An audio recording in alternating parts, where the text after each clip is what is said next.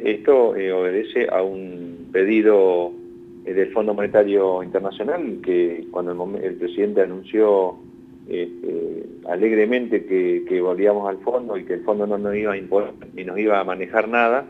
eh, realmente estaba mintiendo porque vemos este, los resultados que, que todos los días se están dando con medidas que se toman desde Nación porque responden a esas exigencias que nosotros decíamos que el fondo iba a plantear. Esto un poco sorprende en el sentido de que, eh, por lo que sabemos, se estaba hablando con los gobernadores para eh, llevar adelante el ajuste y dentro de esas, de esas charlas estaba el tema del fondo de las hojas, del fondo sojero, que, de su reducción, de su eliminación. Pero bueno, el gobierno que llegó a, este, llegó digamos, ganó las elecciones en el 2015 hablando de ser los paladines del diálogo, toma este tipo de medidas en consulta, porque no, han consultado a los gobernadores. Justamente el Fondo de la Soja creo que ha sido uno de los recursos que más efecto, eh, digamos, multiplicador ha tenido en, todas las, economías este, del país, en todas las, provincias, en todos los pueblos,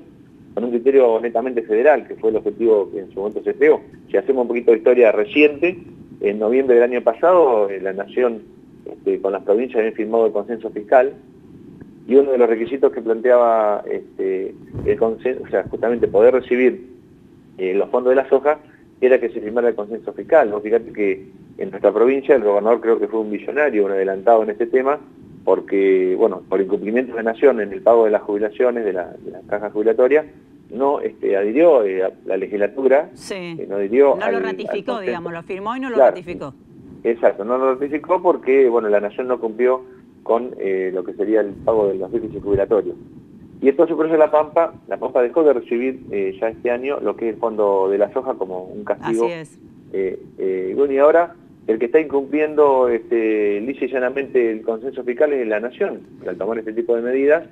está, sin haber modificado el consenso, sin haberlo consensuado, este, por así decirlo, toma esta medida que, como te digo, un golpe muy fuerte a las provincias. Cuando Berna no ratifica el consenso, muchos intendentes salen a criticar la medida porque dejan de recibir el FOFESO. Hace poco lo escuchábamos aquí a Luis Evangelista preocupado justamente porque obviamente habían perdido los fondos del FOFESO, pero además Nación se demoraba en el envío de los fondos de la deuda previsional, que era lo que de alguna manera venía a reemplazar el FOFESO para los municipios de la provincia de La Pampa. La semana pasada, también recordemos esto, hubo un decreto hecho a medida de La Pampa en donde quedaba en claro que Nación no va a mandar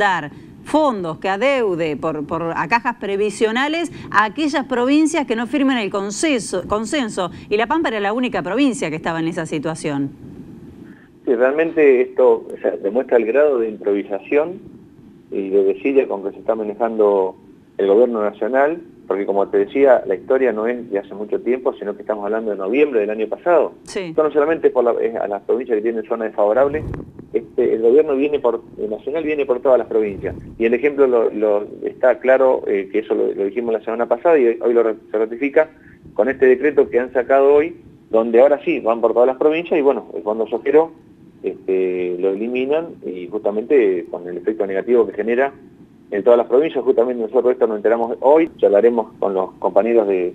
las otras provincias, estos fondos permitían generar trabajo, este, pero bueno, es el pensamiento que tiene el gobierno nacional que creo que, le interesa solamente la capital federal y, y el conurbano y una mirada muy centralista de lo que es la Argentina.